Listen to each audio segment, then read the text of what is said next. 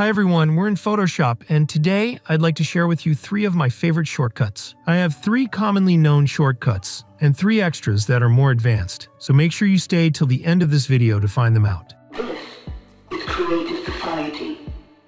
The first common shortcut is Command plus T, which allows you to free transform layers. The second one is Command plus G, which groups the selected layers. The third one is holding Z, then with left click on your mouse, you drag left and right to zoom in and out of your canvas. An extra shortcut is holding spacebar to enable the hand tool and easily navigate on your canvas. So remember, Command T to transform, Command G to group, Z to zoom, and spacebar for hand tool. And now it's time for three more advanced shortcuts. The first one we have is Command plus J to duplicate a layer.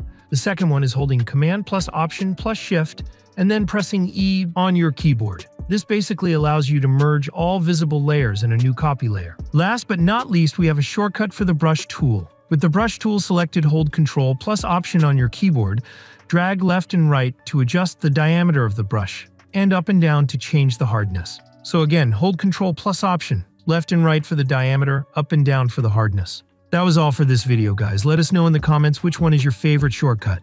Also, feel free to share any ideas for the next videos. If this helped you, make sure you subscribe and like this video for more content. Have an amazing day.